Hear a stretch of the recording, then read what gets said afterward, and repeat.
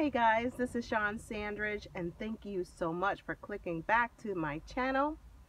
First of all, I would like to say hello to my new subscribers. I see that people have hit that like button. Tell your friends, hit the like button and continue to subscribe to my channel.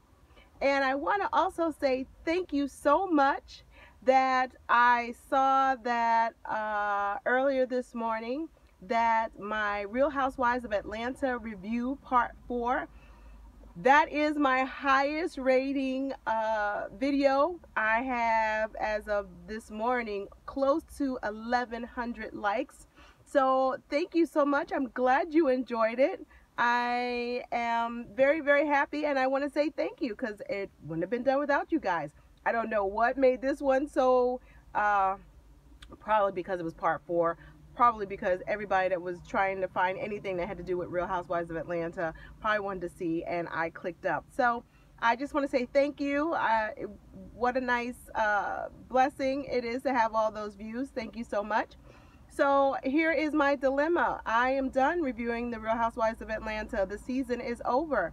And as of right now, I don't have anything to review because I don't review a lot of stuff. So I wanted to get your input and I am really, really considering doing a review for House of Cards Season 5. Now, the House of Cards Season 5 uh, is on Netflix, the uh, show. It is a drama. If you like Scandal, but you want something a little bit more realistic, definitely binge watch on Netflix and you will see the show House of cards. It is with uh, Kevin Spacey and Robin Wright, who play the characters of Francis Underwood and Claire Underwood, who is the standing uh, president of the United, United States and First Lady. The show is riveting. It has a lot of twists and turns. It is very political, very ruthless and there are a lot of sexual innuendos and overt sexual uh, situations.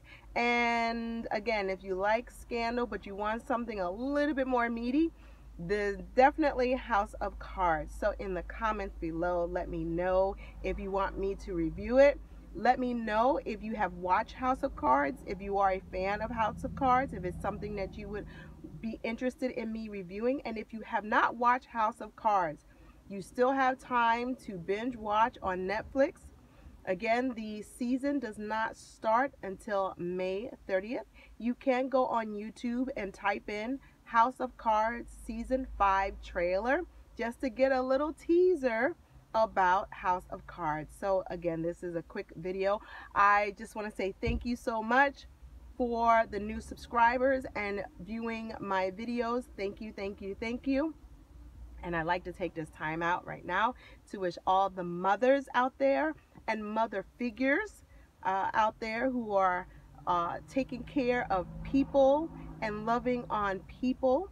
Uh, you don't necessarily have to give birth to be a mother, that I do know.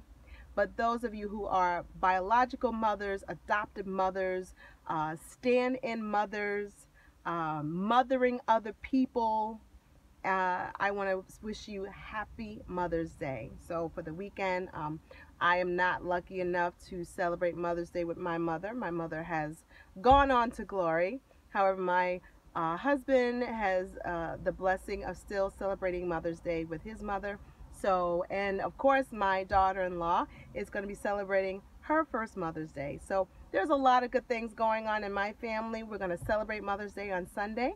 I probably will not be back on camera until the week. And again, put in the comments below about House of Cards or if there are any other shows that you think I might want to re review that you think that if you've been watching me that I would be interested. So let me know and then I will uh, give it some thought and I will decide and let you guys know what I plan on doing.